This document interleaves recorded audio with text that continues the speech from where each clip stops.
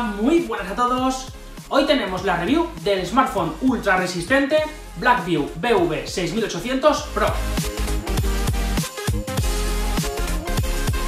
El 6800 Pro monta un procesador MediaTek MT6750T de 8 núcleos, 4 de ellos funcionando a 1,5 GHz y los otros 4 a 1 GB, todos con un Cortex A53 y una GPU Mali T860 MP2. Junto a esto encontramos una memoria RAM de 4 GB y un almacenamiento interno de 64 GB, ampliables mediante microSD. Recordar como siempre, si decidís ponerle una microSD, que sea de clase 10 para mejorar la fluidez y el rendimiento del teléfono. Pasamos a una de las características más interesantes del teléfono, y es que cuenta con una batería de litio de nada menos que 6580 mAh, con carga rápida y carga inalámbrica. Esta pedazo de batería nos proporciona una autonomía de nada menos que hasta 4 días si le damos un uso cotidiano al teléfono. Me refiero a cosas del día a día, como estar con la navegación, el WhatsApp, el correo electrónico o las redes sociales. Como siempre, si le metemos un poquito más de caña y ya empezamos a ver vídeos, a ver alguna película o jugar algún juego, la duración de la batería se reduce. Eso sí, tener en cuenta que no es lo mismo reducir la duración de la batería desde un móvil que dure un día, que te quedas muy corto,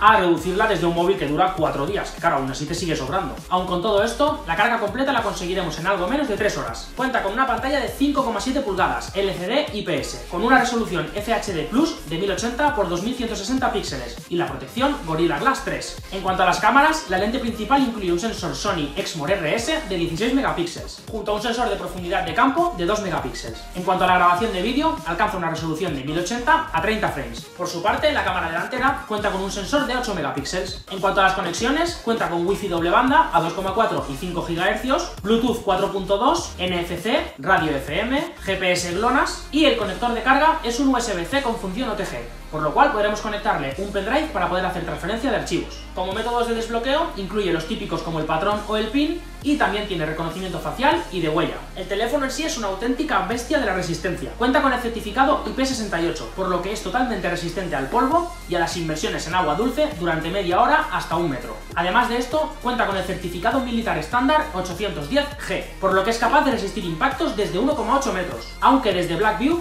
nos indican que ha sido capaz de resistir golpes de hasta 3 metros. Además, también ha superado todo tipo de pruebas en temperaturas extremas, vibraciones, humedad y funcionamiento a grandes alturas. Al hilo de esto que estoy comentando, os voy a dejar por aquí, bueno, igual aún no está saliendo porque lo estoy editando en este momento que estás viendo el vídeo, pero por aquí arriba, en cuanto lo tenga, os voy a dejar el enlace a un vídeo que hemos hecho haciéndole pruebas de resistencia al teléfono. La verdad es que es bastante, bastante interesante ver todo lo que puede aguantar, así que os recomiendo que os paséis por el vídeo. Sale de casa con el sistema operativo Android 8 Oreo. Por último, lo tenemos disponible en los colores negro y negro con detalles amarillos y lo encontraremos a un precio que ronda los 205 euros más o menos. Y ahora sí, vamos al unboxing.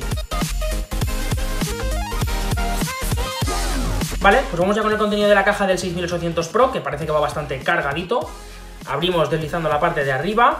Y como vemos ya, lo primero que tenemos ya es la presentación del teléfono. Como siempre, vamos a sacar el móvil, no lo voy a enseñar, lo voy a dejar un poquito apartadito y luego lo vemos en detalle. Comenzamos ya a ver accesorios, eh, vamos a sacar primero, mira, aquí lleva un protector de pantalla, es de plástico, no es de cristal templado, ¿vale? Pero bueno, nos dan un protector de pantalla para el teléfono. Continuamos con las instrucciones, que vienen en castellano, dejamos aquí las instrucciones, y luego tenemos esta chapita, que es esta que veis aquí, ¿vale? Que nos sirve para abrir la ranura de la micro SD y la nano SIM. En otros teléfonos viene el típico pincho clip, pero en este no, en este es como una pestaña y tú metes así la, la, chapita se abre la pestaña, luego lo vemos en detalle. Seguimos ya con esto, que es algo más interesante, vamos por la parte de arriba donde tenemos los auriculares, vamos a sacarlos para ver cómo son. Vamos a ver, pues son muy, muy parecidos a unos AirPods ¿eh? de, de Apple. Fijaros que físicamente, no sé si los apreciáis, espero que sí, pero son muy parecidos a unos AirPods, son unos auriculares eh, de botón on-air, ¿vale? No, son, no llevan silicona, no se meten dentro del oído, se quedan por fuera y llevan los altavoces en el lateral, al igual que los, que los de Apple. Así que son muy parecidos y pues un detallazo por parte de Blackview. Dejamos los auriculares, continuamos con el adaptador de corriente de Blackview, también nos lo, nos lo ceden, lo dejamos por aquí, no hay mucho que comentar. Y ya tenemos aquí que hay un popurrí un poco, un poco más, ¿vale? Aquí lo que tenemos es un adaptador que como el teléfono no lleva, no lleva jack de 3,5 milímetros, para poder conectarle los auriculares nos dan un adaptador que va desde el mini jack de 3,5 milímetros a un USB-C para poder conectarlo al móvil. Continuamos por aquí con esta piececita que la voy a sacar, creo que ya sé lo que es, lo he estado viendo antes. Esto, sí, correcto. Es un adaptador que va desde USB-C macho, que es el que va al teléfono móvil, y una hembra de micro USB.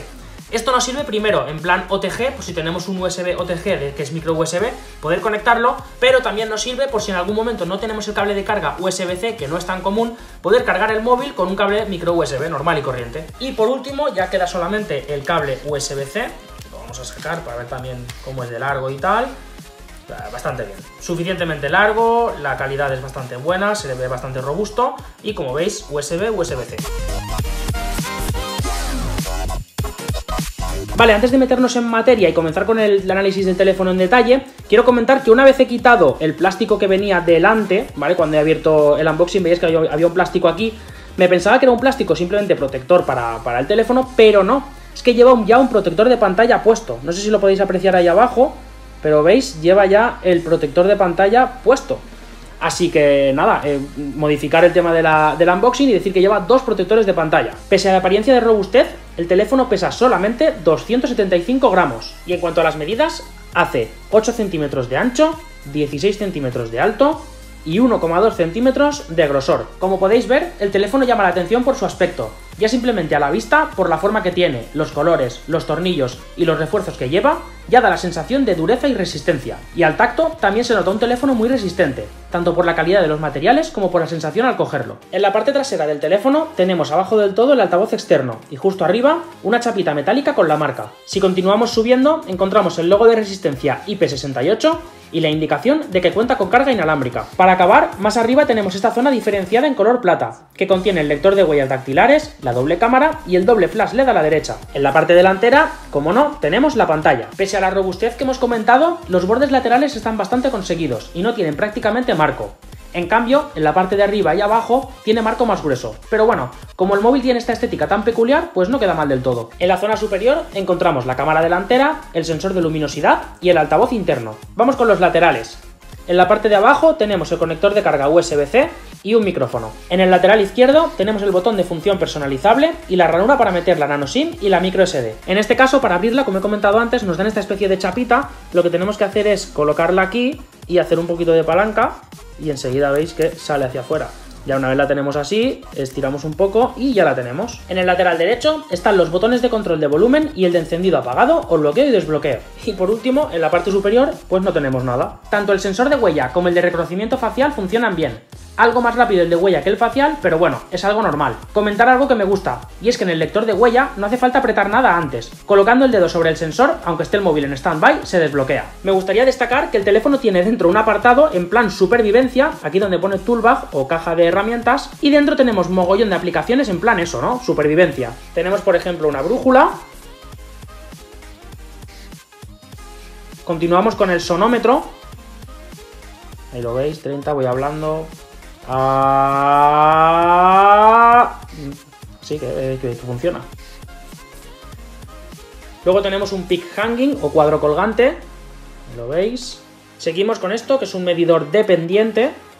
Ahí está, veis la pendiente que tiene horizontal y vertical. Conforme movemos el teléfono, lo va midiendo.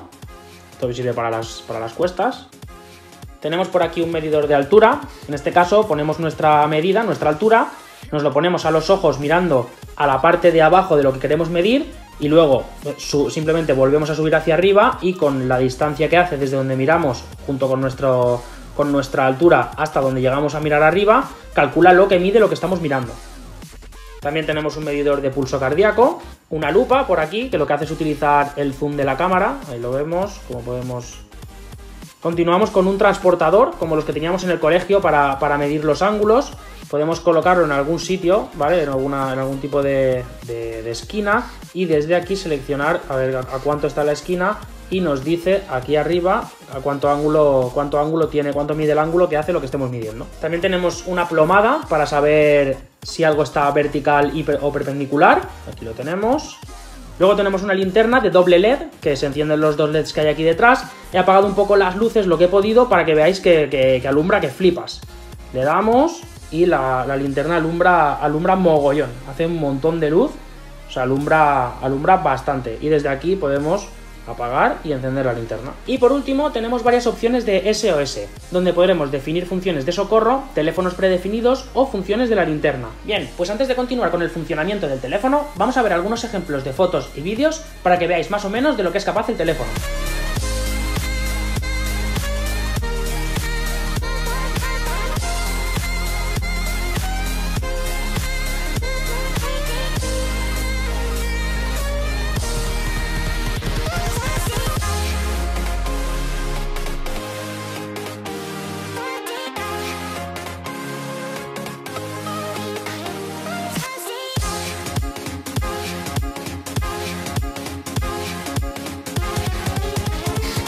Antes de continuar, un pequeño inciso de algo que me ha gustado bastante de la cámara, y es que en el modo vídeo, mientras estamos grabando un vídeo, podremos primero pausar el vídeo y volver a reanudarlo, cosa que en muchos teléfonos ya no permite, ¿vale? Aquí podremos estar grabando y mientras grabamos pulsar el pause el vídeo queda paralizado, no, se hacen dos vídeos, vuelves a darle play y vuelve a continuar grabando en el mismo vídeo. Y segundo, que mientras estás haciendo el vídeo, te sale una opción abajo como una pequeña cámara y en esa misma opción puedes hacer fotos. Es decir, que mientras estás grabando, tú puedes apretar un botoncito e ir haciendo fotos mientras grabas. Pues si te estás grabando y quieres algo especial dejarlo en foto, le pegas un toque y pues puedes hacer una foto mientras grabas. Y una vez visto todo en detalle, nos vamos a ver el funcionamiento del teléfono.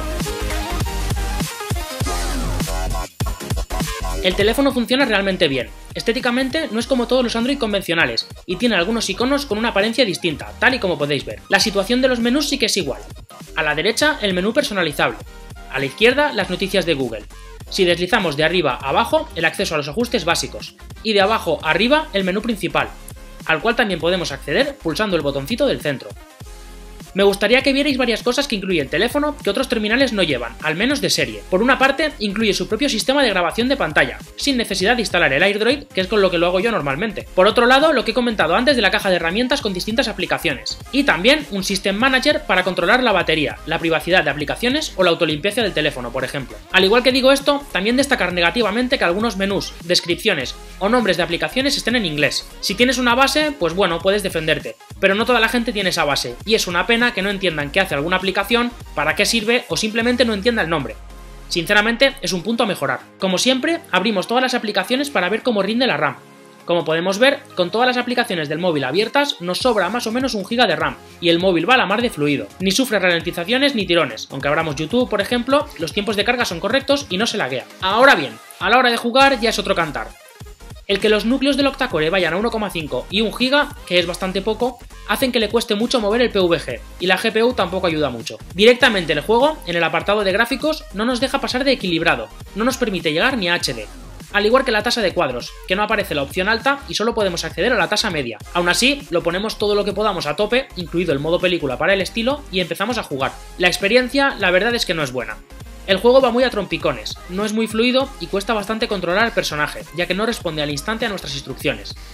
Los gráficos se quedan a medias y no ofrecen para nada su mejor versión. Si bajamos la calidad gráfica y la dejamos como al principio por defecto, la experiencia de juego mejora, fluye un poco mejor y se hace más controlable, aunque claro, los efectos dejan bastante que desear. Eso sí, al margen de esto, destacar positivamente que el teléfono apenas se ha sobrecalentado en todo el rato que he estado jugando, un poco en la zona metálica donde se encuentra la cámara, pero apenas, nada que moleste en ningún momento. En definitiva, el BV6800 Pro es un teléfono todoterreno, de batalla. Si necesitas un móvil resistente y duradero, pero que no deje de lado la calidad y las prestaciones, no te lo pienses, es tu teléfono. Destacar positivamente, como no, esa resistencia y esa robustez general, así como la enorme batería que tiene, y el que, aun centrándose en eso, incluye nada menos que 4 GB de RAM para no olvidarse de la fluidez, aunque sinceramente creo que su público objetivo tampoco es ese. Antes de acabar, recordaros que Blackview tiene una gama amplísima de terminales ultra resistentes, y me gustaría destacar sus últimas novedades, el BV9800, que cuenta con cámara térmica, que por cierto me encantaría probar, y el BV9900, con una RAM de 8 GB